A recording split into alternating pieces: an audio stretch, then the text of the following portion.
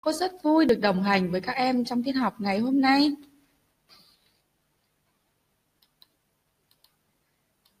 Trước khi tiết học bắt đầu, các em cần lưu ý những điều sau.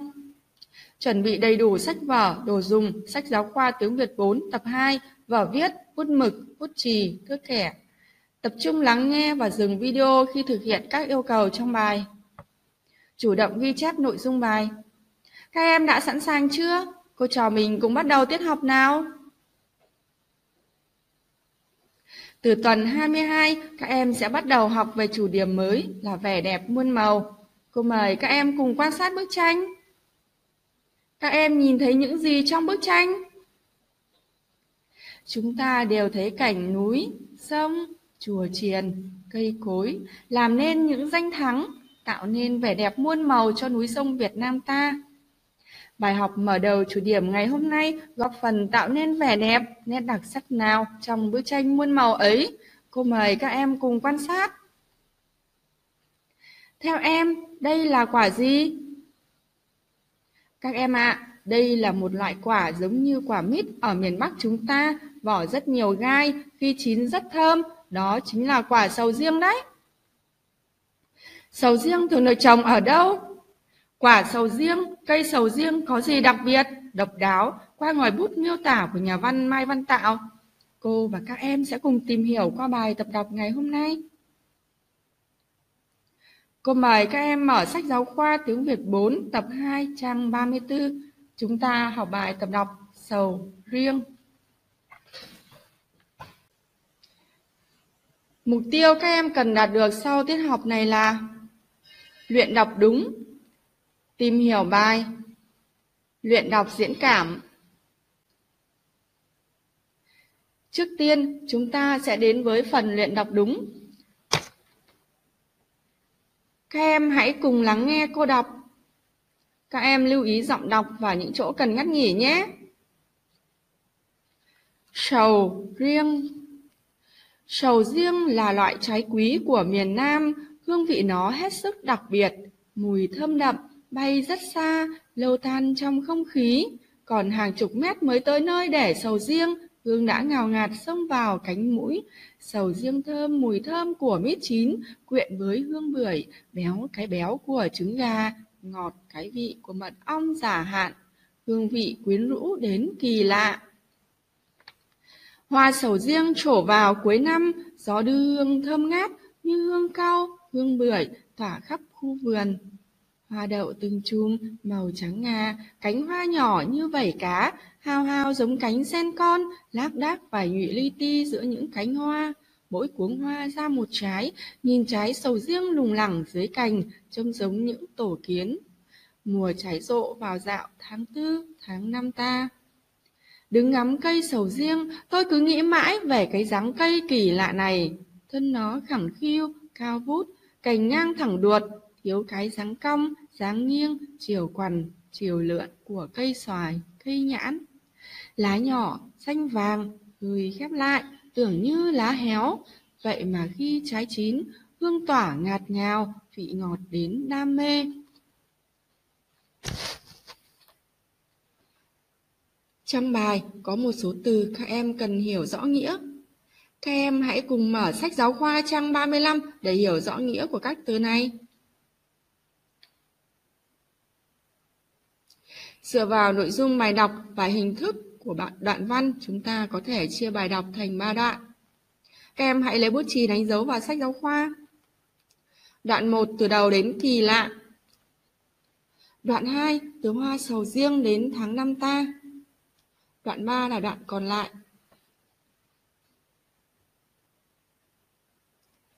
Các em cần lưu ý phát âm các từ sau. Các em hãy cùng đọc to theo cô nào ngào ngạt, quyến rũ, khẳng khiu, quằn, lủng lẳng. Các em cùng đọc lại một lần nữa nhé. Ngào ngạt, quyến rũ, khẳng khiu, quằn, lủng lẳng. Các em cần lưu ý khi đọc câu dài, các em hãy lấy bút chì đánh dấu để luyện đọc dễ hơn nhé.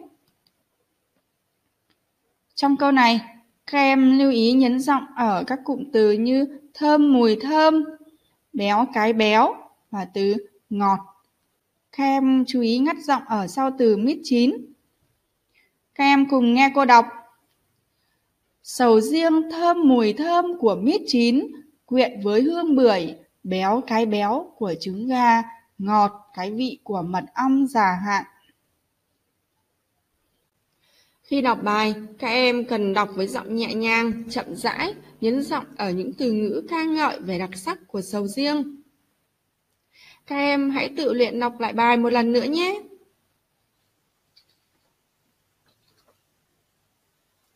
Vừa rồi, chúng ta đã cùng nhau luyện đọc văn bản. Vậy, nội dung của bài tập đọc là gì? Cách miêu tả cây sầu riêng của nhà văn Mai Văn Tạo có gì đặc biệt? Cô và các em cùng vào phần tìm hiểu bài nhé. Các em cùng đọc thầm đoạn 1 và cho cô biết. Sầu riêng là đặc sản của vùng nào? Cô tin rằng có nhiều bạn đã tìm được đáp án giống như cô. Sầu riêng là đặc sản của miền Nam. Vậy, đặc sản nghĩa là gì? Đặc sản nghĩa là có những nét riêng hay lạ, ngon, khác thường mà ít nơi có được. Ví dụ như ở Thái Nguyên ta có chè là đặc sản nổi tiếng cả nước. Vậy, sầu riêng có gì đặc biệt để được gọi là đặc sản của miền Nam? Các em hãy tìm trong đoạn 1 những từ ngữ, câu văn miêu tả về hương vị của quả sầu riêng. Cô tin rằng các em đều đã có đáp án của mình. Các em hãy cùng so sánh với đáp án của cô nhé. Quả sầu riêng có hương vị hết sức đặc biệt, mùi thơm đậm, bay rất xa, lâu tan trong không khí, hương thơm ngào ngạt, sầu riêng thơm mùi thơm của mít chín, quyện với hương bưởi, béo cái béo của trứng gà, ngọt cái vị của mật ong già hạn, hương vị quyến rũ đến kỳ lạ. Em hiểu thế nào là ngào ngạt? Ngào ngạt là chỉ mùi thơm lan tỏa rộng và kích thích mạnh vào khứu giác. Mật ong già hạn là mật ong để lâu hơn thời hạn thu hoạch. Em chú ý vào câu hương vị quyến rũ đến kỳ lạ. Em có thể tìm những từ nào thay thế từ quyến rũ? Các em có thể thay thế từ quyến rũ bằng các từ như hấp dẫn, lôi cuốn, làm say lòng người. Vậy trong các từ trên dùng từ nào là hay nhất và vì sao? Trong các từ trên, từ quyến rũ dùng trong câu là hay nhất vì thể hiện rõ ý mời mọc, gợi cảm đến với hương vị của trái sầu riêng. Vậy, quyến rũ có nghĩa là làm cho người khác phải mê mẩn vì điều gì đó. Như vậy, việc sử dụng những từ ngữ gọi tả như ngào ngạt, quyến rũ, quyện, tác giả đã làm nổi bật được hương vị đặc biệt của quả sầu riêng. Đó cũng chính là ý chính của đoạn 1. Vậy, còn hoa sầu riêng có gì đặc sắc? Các em hãy cùng đọc thầm đoạn 2 và trả lời câu hỏi. Hoa sầu riêng có những nét đặc sắc gì? Hoa sầu riêng đậu thành từng chùm, màu trắng ngà, cánh hoa nhỏ như vảy cá, hao hao giống cánh sen con, láp đáp và nhụy li ti giữa những cánh hoa. Hao hao được hiểu là hơi giống nhau.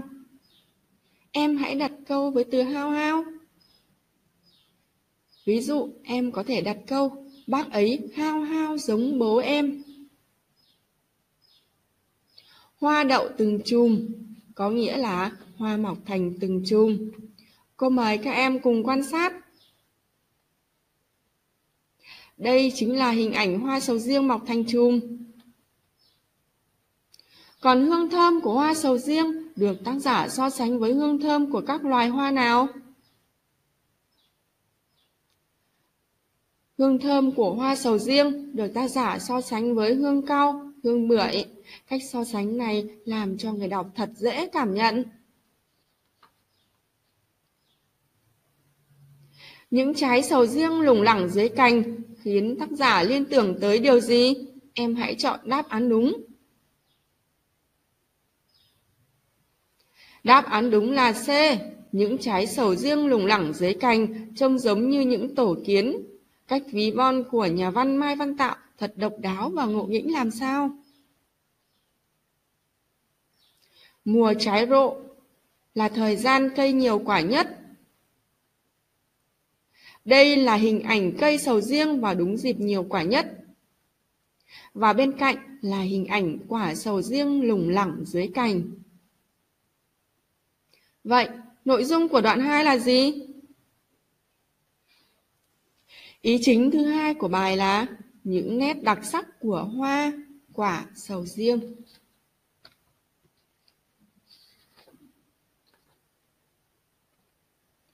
Trong hai đoạn đầu của bài, tác giả đã miêu tả về hoa, quả, sầu riêng. Vậy, còn cây sầu riêng được tác giả miêu tả như thế nào trong đoạn thứ ba này? Các em cùng nghe cô đọc đoạn 3 và tìm câu trả lời nhé.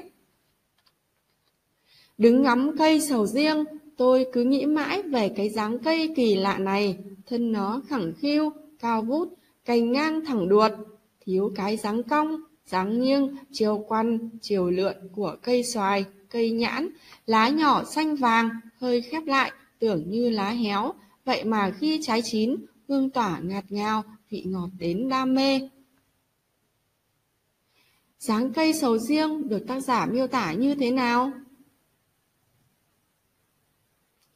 Thân khẳng khiu, cao vút, cành ngang thẳng đuột là những đặc điểm tác giả miêu tả về cây sầu riêng đấy các em ạ. Các em cùng chú ý vào từ cuối đoạn. Em hiểu đam mê là gì? Đam mê là ham thích quá mức. Ví dụ, mẹ em là một người đam mê công việc. Sầu riêng độc đáo khiến tác giả cứ chăm chú nhìn ngắm, tận hưởng đến mê say. Đó chính là sự đam mê của tác giả đối với sầu riêng. Vậy, nội dung chính của đoạn 3 là gì? Nội dung của đoạn 3 đó là dáng vẻ kỳ lạ của cây sầu riêng. Qua phần tìm hiểu trên, em có nhận xét gì về cách miêu tả hoa sầu riêng, quả sầu riêng với dáng cây sầu riêng? Các em thấy rằng tác giả miêu tả hoa sầu riêng, quả sầu riêng rất đặc sắc, vị ngọt đến đam mê, trái ngược hoàn toàn với dáng cây khẳng khiu, cao vút. Việc miêu tả như vậy để làm nổi bật hương vị ngọt ngào của quả sầu riêng chín, đó là cách miêu tả tương phản thể hiện ngòi bút tinh tế của tác giả. Trong bài có rất nhiều câu văn thể hiện tình cảm của tác giả Mai Văn Tạ đối với cây sầu riêng. Các em hãy cùng lấy bút chì, gạch chân dưới những câu văn đó. Đây là những câu văn thể hiện tình cảm của tác giả đối với cây sầu riêng. Sầu riêng là loại trái quý của miền Nam. Hương vị quyến rũ đến kỳ lạ. Đứng ngắm cây sầu riêng, tôi cứ nghĩ mãi về cái dáng cây kỳ lạ này. Vậy mà khi trái chín, hương tỏa ngạt ngào, vị ngọt đến đam mê.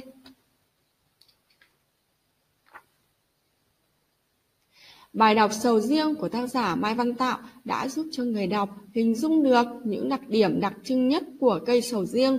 Phải là người am hiểu và yêu thích sầu riêng thì tác giả mới có những cảm nhận tinh tế, sâu sắc đến thế. Cô tin rằng qua phần tìm hiểu bài, các em đã có được những kiến thức về cây sầu riêng, cùng với đó là sự tích lũy về cách quan sát tinh tế, sử dụng từ ngữ, hình ảnh độc đáo, sử dụng biện pháp nghệ thuật so sánh của nhà văn Mai Văn Tạo khi miêu tả cây sầu riêng để vận dụng vào việc viết đoạn bài văn miêu tả cây cối.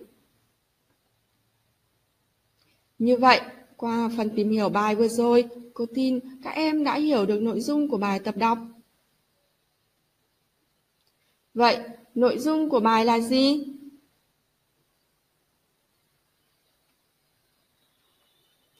Bài đọc ca ngợi vẻ đẹp và hương vị độc đáo của sầu riêng, một loại trái quý của miền Nam. Các em hãy tạm dừng video và ghi nội dung vào vở nhé.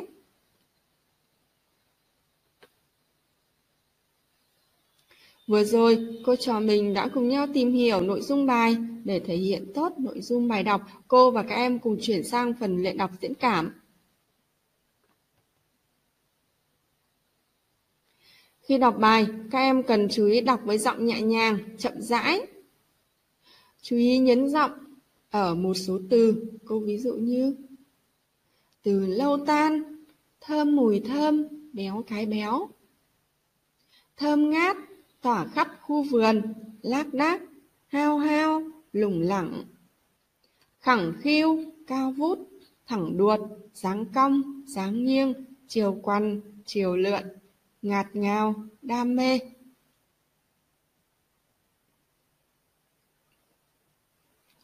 Trong bài đọc này, cô và các em sẽ cùng luyện đọc diễn cảm đoạn 1.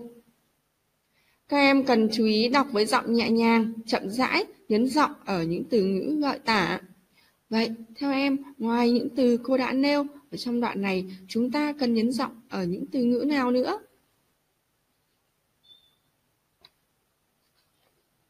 Trong đoạn này, các em cần nhấn giọng ở một số từ như trái quý, hết sức, thơm đậm, rất xa, lâu tan, ngào ngạt, thơm mùi thơm, béo cái béo, ngọt, quyến rũ. Các em cần nghỉ hơi sau khi đọc từ hàng cụm từ hàng chục mét và sau từ mít chín. Các em hãy cùng lắng nghe cô đọc. Sầu riêng là loại trái quý của miền Nam, hương vị nó hết sức đặc biệt, mùi thơm đậm, bay rất xa, lâu tan trong không khí. Còn hàng chục mét mới tới nơi để sầu riêng, hương đã ngào ngạt xông vào cánh mũi, sầu riêng thơm mùi thơm của mít chín quyện với hương bưởi, béo cái béo của trứng gà, ngọt cái vị của mật ong giả hạn, hương vị quyến rũ đến kỳ lạ. Cô tin các em sẽ luyện đọc thật hay đoạn văn này.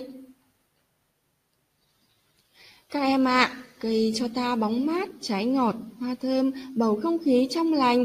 Vậy các em hãy bảo vệ và chăm sóc cho cây luôn được tươi tốt nhé. Tiết học của chúng ta kết thúc tại đây. Các em tiếp tục luyện đọc bài, sưu tầm các câu thơ, chuyện nói về cây sầu riêng, những món ăn được chế biến từ sầu riêng và chuẩn bị bài học sau, đó là bài chợ Tết. Cô xin chào các em, hẹn gặp lại các em trong những bài học sau.